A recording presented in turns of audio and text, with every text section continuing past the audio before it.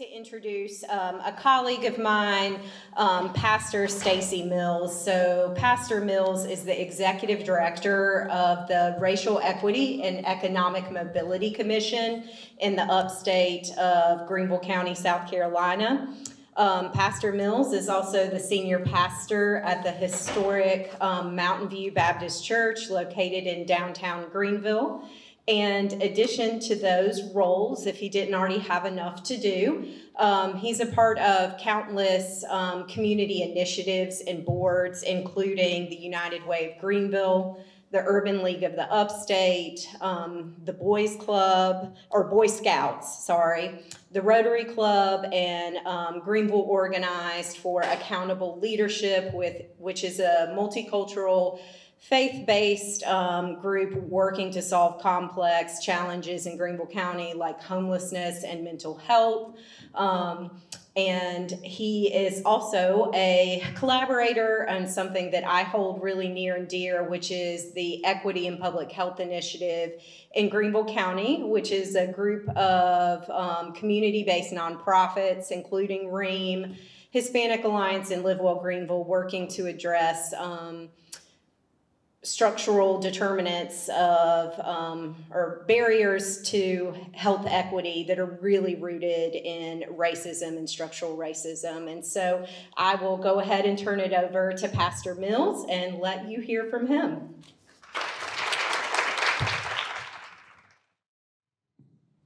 Well, good afternoon, everybody. There's a lot of great work that's going on, and thank you for um, remaining. Can you just give each other a round of applause for sticking it out today? Yeah, I think that's pretty amazing that you held on until the end. And I noticed um, that I had an hour, and I assure you that I won't take an hour. After 26 years of uh, pastoring, I've learned that the deacons in the front row really do control how long my sermons go. So I'll pretend that they're here today. I'm not sure what Janisha and Shannon were thinking when they put a preacher at the end of your uh, at your experience. Well, Melissa, thank you for um, introducing me and being very kind um, in your uh, comments. Um, and when I think about that, um, I think about the um, introductions um, that I've heard over time um, that have talked about um, my engagement in the community. I'm, I'm sort of like Zach now, um, following Brandon, and when Zach followed Mata, it was like, what am I doing here? I mean, all of this good work that's happening in this space, um, and I concur with that. I concur with all that I've heard today, um, but there is so much more work to do.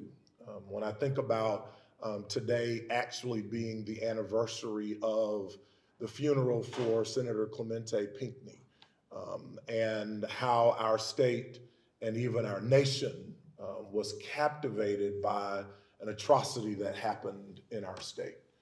Um, I'm thinking also about the formation of um, Greenville's Racial Equity and Economic Mobility Commission that was born out of uh, the fact that a man was killed on the streets in our country, uh, suspected of passing a $20 bill, that person, or a fake $20 bill, which turned out it wasn't a fake $20 bill, and that was George um, Floyd three years ago.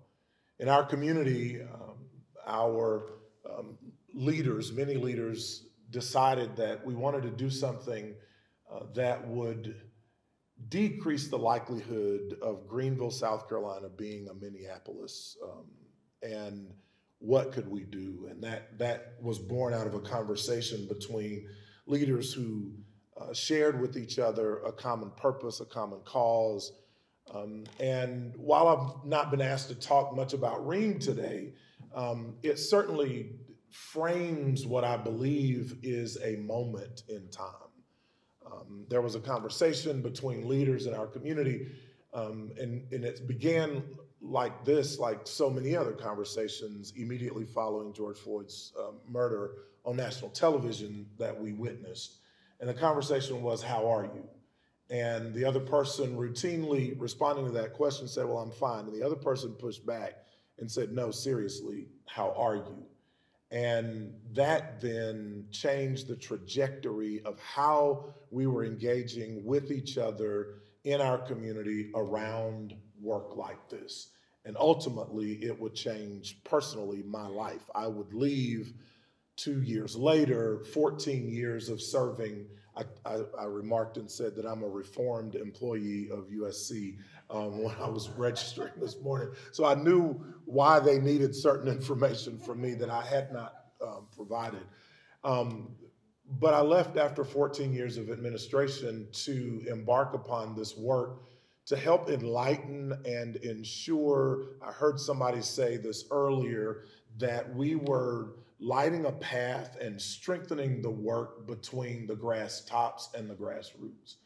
Um, so I was invited to become the executive director, um, the inaugural executive director of Greenville's Racial Equity and Economic Mobility Commission after spending 24 months of being sequestered in the Greenville Convention Center looking at policy around income and wealth, education, community-wide learning, uh, and criminal justice and health and wellness.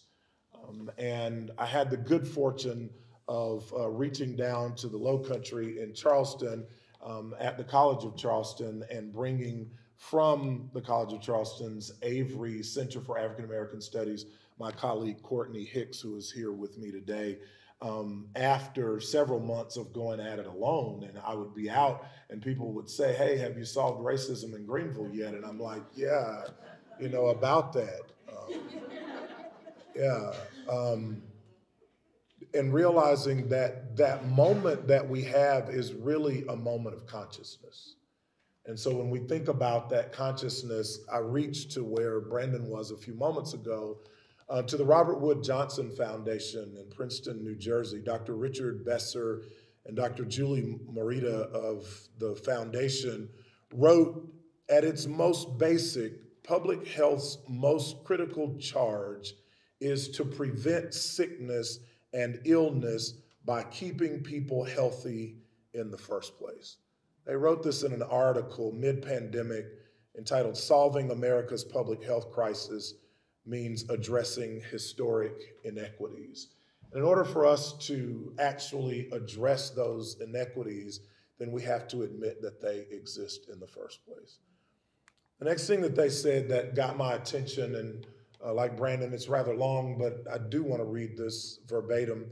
And they went further to say that we must engage the com- with communities most affected by racism ensuring that public health departments reflect the communities they serve and that the perspectives of people who have the lived experience of inequity are driving decisions. We will need to retool data systems that form the backbone of public health science so that data can be collected, analyzed, and broken down by age, race, ethnicity, gender, disability, neighborhood, and other factors. A modern data system could have saved lives during this pandemic by allowing us to provide the support and resources in the communities of greatest need. That same system could identify disparities that reflect our society's gravest inequities and, in many cases, reveal patterns of structural racism. And oftentimes, we really don't want to look in the face of what is actually at the root cause of some of the systems that we are dealing with. In my community, I wanted to point out that um, in Greenville, there's just more than a half a million people living in Greenville. And when we break that down into the statistics that you see on the screen, and others from the upstate have already mentioned this to you, and I want to tie some significance before um, I take my seat and get out of your way, that 67% or 70% of the people living in Greenville County, of that half million people or more, are white. 17.3% are black, non Hispanic, and then 9.4% are Hispanic.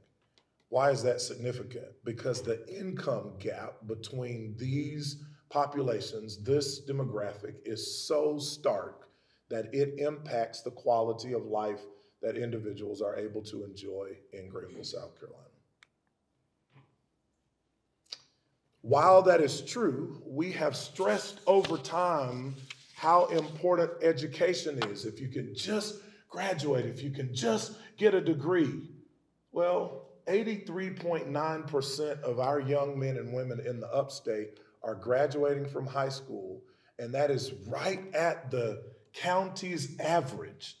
These folks represent black and brown students graduating from high school, but still not having the quality of life that their peers are having. So, somewhere between high school graduation and full adulthood, there is a disconnect between the philosophy of what education can do and the reality of what life presents. I share that with you today um, because when we look a little bit further um, at these ideas as it relates to healthcare, this number, 2,944, represents preventable hospital stays per 100,000 um, Medicare beneficiaries in our, in our community. 2,944 preventable hospital stays. Melissa, I'm sure these numbers look very familiar to you. The next one is also astounding because it represents premature death, the premature death rate in our community, upstate, progressive, Greenville, South Carolina. Wonderful parks and amazing Main Street, 100 restaurants on a mile stretch of Main Street. You can eat from any culinary delight that you choose, but 11,305.6 people died prematurely in our community. This is the last slide, and I'm moved because this is a part of my introduction that doesn't always happen um, when speaking on occasions like this. But on April the 8th, my wife woke up and insisted that she needed to go to have a mammogram, her first ever. That was April 8th this year. On April the 21st, as I was preparing to go to the White House, literally in Washington, D.C., at the Watergate Hotel, I was on a conference call with her doctor and my wife, and the doctor patted her leg and said, You have cancer. I'm sorry. And it stopped me in my tracks. What do we do? And so we did what people who have insurance do. We scheduled the next round of doctor's visits. And so from April the 21st, the day she was diagnosed, to June the 6th, just a little over two weeks ago, she had a bilateral double mastectomy and also had the reconstruction begun at the same time. The plastic surgeon said, to us that her general surgeon would remove one breast and then they would switch places and she would go in and put the spacers in and then just matter of factly they would take care of it. Well, the day we consulted with the general surgeon, I go with my wife and I'm sitting in a corner and as big and burly as I am and as present a husband as I could possibly be, I was helpless sitting in the corner because this had nothing to do with and even though my work brings me into rooms like this and spaces like this, oftentimes I feel like I should be able to contribute contribute something. And the doctor comes in and he opens my wife's gown and he begins to examine her. And I felt my manhood just slip right down to my feet. Him being a trained physician sensed something and he came as close as he could without violating my space. And he said, Mr. Mills, I'm going not going to treat your wife, I'm going to cure your wife. And I said to him, That's a pretty tall order, doctor. And he said, Yes, but one on which I plan to stand fully and would stake my career on it. And so on June the 12th, when we went for the follow up and um, for the results, um, the pathology report, uh, he comes in the room and he's as bouncy as can be. And he looks at my wife and he says, You got that look because minutes before he came in the room, she said, This is hard. For the first time since April the 12th, when she found out that she had to go back for another mammogram, she complained almost. She said, This is hard. The doctor walks in in what was a millisecond. It had to be.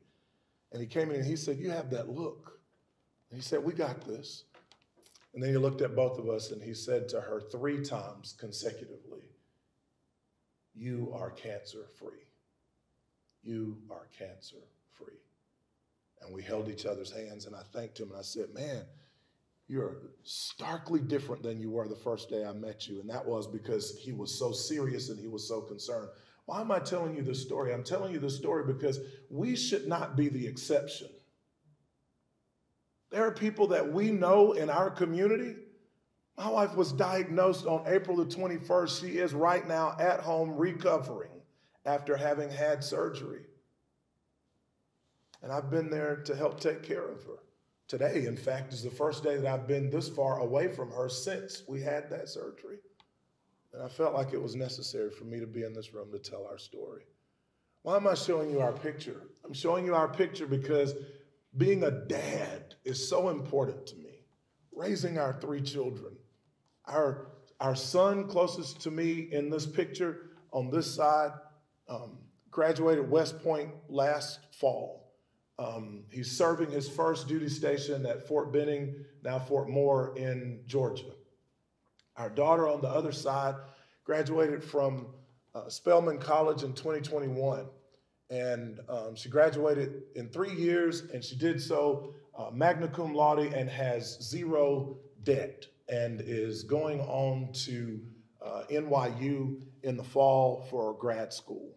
Well, I have to tell um, that story so that you can appreciate that Kirsten called me while working at the Prisma Health uh, vaccination clinic during the pandemic because she had collapsed on the floor for some unknown reason and they were rushing her to the hospital. And she said, Dad, I'm on my way to the hospital. And if she were here to tell that story, she said, I said, oh. And the people around her said, Is that your dad? Is he coming? And she said, Yeah, he'll be here. He's just got to get himself together. And she was right. I'm still getting myself together because we weren't prepared for that. And we went to the hospital and she was there. We discovered that she had something called severe idiopathic aplastic anemia. I can say these terms now because prior to that, I knew nothing about what that was. Prior to the doctor telling my wife that she had uh, an invasive ductal uh, carcinoma in situ or whatever all of that was, I had no knowledge of that. I graduated college. I've worked 14 years at a university. I've served 26 years in a community pastoring a church. I had no idea and was not prepared. Can you imagine folks who don't have that background, whether they're prepared or not? I tell that story because my daughter did overcome. She needed a, a bone marrow transplant. And I thought that this oldest knucklehead would be her match. And and he wasn't. So then we tried the second knucklehead, and he wasn't a match either, and, and for good reason, because he told her, if I'm a match, I'm gonna ride you forever and tell you that I saved your life. And he would he would have done it. He would have done it. He's a senior at Greenville High, and I tell the story about my accepting the role as the executive director of REEM um, because of Zion. Zion's our baby we were on our way to school during the pandemic on those A days or B days that Greenville County Schools had come up with, and I don't know what that looked like in your community, but I enjoyed driving all three of them to school at the time that we needed to be able to drive them to school uh, because that was my time with them, and no less was the case with Zion. And I finished with this.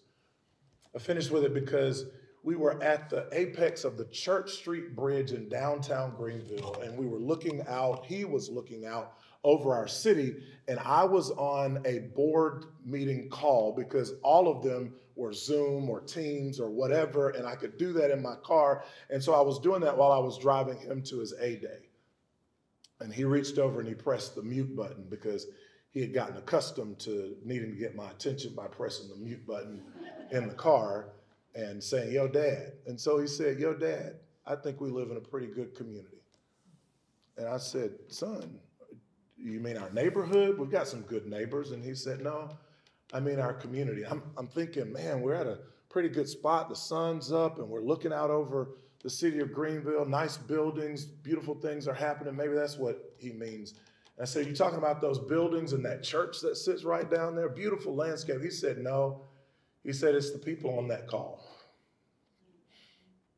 We were talking about in that meeting the fact that there are no restrictions to charging people three and four hundred percent interest rate on personal loans. Um, unless you're in the military, and then it's capped at like twenty-seven to thirty percent. And my then 15 year old son pauses our drive to school to say to me, We live in a pretty good community. And I asked him why. He said, Because I think the people on that call could probably afford that interest rate, but they're concerned about people who can't afford the interest rate. And that's the discussion in this meeting on the call. And he said, I think we live in a pretty good community. Well, the year before that, I was serving as the chairman of the Citizens Police Policy Review Board. And we were examining policies in Greenville law enforcement that had to do with police brutality, excessive force, use of dogs, the number of stops, the number of arrests. And I said, if my brown skinned, 15 year old, lanky, football playing son with this crazy hairstyle believes that we live in a good community, then I need to give myself every day to making sure that that's accurate. And like Sam, you know, listening to his testimony today, it it brought me to a place um, because you guys remember the movie The Pursuit of Happiness? I watched it one time and I could not watch it again. Because when that movie came out, Will Smith and his son playing those roles, my children were far younger and much smaller. And I was scared that one day that could be me in a terminal trying to take care of my kid and keep him from knowing that we're homeless. And today, they're up some size. This one has his own place. The one on the far end has already secured her apartment in New York downtown and said, Dad, no, you don't get a key. I'm going to grad school. You don't need to come. But guys, we cannot be, the Millses cannot be the exceptional Negroes or the exceptions to the rule this has to be an increased opportunity for more people in our community to be able to gain access to quality health care. It should not be that we have social capital that gets us in to see a doctor and get a surgery, or when we couldn't get a, a, a bone marrow transplant between siblings, a genetically modified bone marrow was ordered immediately, and my daughter was put in the hospital and her life was saved and her her care team said we want her to get out of this hospital and go live her life. She completed her senior thesis from the icu on the peds ward at prisma health. They took care of my daughter. And as dr nicole bryant likes to say we're going to tank her up so that she can go graduate in person. And she did at spelman college who held their graduation that year on the football field at Georgia Tech. And we watched her get her degree, magna cum laude. So I want to say to you today what you do is worth it. What you do and what your colleagues are involved in really makes a difference. It makes a difference for families like mine, but it also makes a difference for other people who need to reach a little bit deeper to have a better quality of life. That's my time. Thank you very much.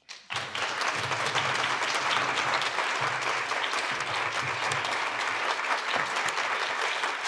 Do we have questions? Kind of hard to ask questions. I, I saw Heather wiping away the tears. I was the same way over here. I'm like, I don't want to talk after this. Y'all, this is this is it. This has been an amazing day. Um, I just really appreciate you all being here. I had two questions. Raise your hand if you met someone new. Awesome. Great. And then my second question is, did you get any good ideas today that you're gonna put in your back pocket and take with you? Raise your hand. Good. Amen. That's really what we hoped would happen today, is that you would make some new connections. It's a lot about this work, right? Is our partnerships. We've talked a lot about that today. It's about taking innovation and thinking about how you can take that home with you and do something new. Um, I want to appreciate you all being here today. I hope you got enjoyed celebrating with us. I want to thank all the core members again. Y'all have been such a blessing to work with over the past year and a half. I really appreciate every single one of you. We are not going to stop. We're going to keep moving. I got a writing group. I'm going to keep busy for about six months so we can start putting this plan into place and start finding funding funding to keep this work moving forward. But again, thank you guys for being here. Thank you to our special guests for sharing what you do. It's I learned so many new things today, and it's just been such a blessing to be here with all of you. So y'all take care, drive safely, grab a water on your way out. Thanks again.